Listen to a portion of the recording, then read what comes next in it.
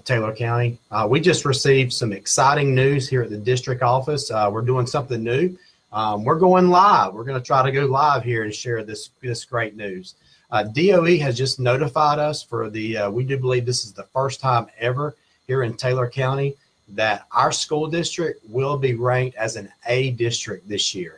Um, uh, the middle school we have made it official. They will be a B this year.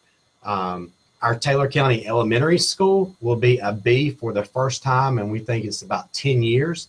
Uh, of course, Steinhatchee um, has confirmed that they are an A school district this year, and we can confirm that our high school will um, remain a C, but we are moving in the right direction. We received several more points than we received last year in the right direction. Um, I just want to say thank you to everyone that has had a part or a hand in making our school district move in the right direction. We are definitely elevating elevating Taylor here in Taylor County, and we're so excited.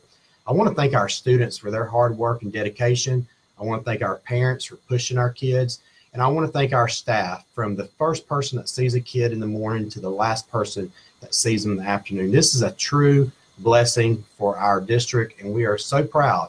And now we got to maintain. Um, the work is, uh, we've put work in, and with more work is ahead of us to be able to maintain uh, this grade for us being an A uh, school district. So we're very excited about that. And I want to thank you to all the people in our community that prays for us every day. Uh, that we make sure we're giving our kids the best education possible. We would not be able to do this without the support that we get from our wonderful community and the people that are supporting us and behind us and the prayers that we get. That means a lot. Um, there's tough days in education, um, but right now is one of those days that we really, really love and going to cherish. And again, thank you.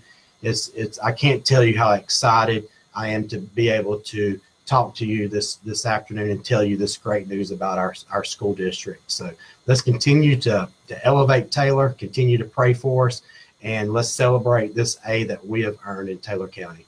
Thank you and God bless.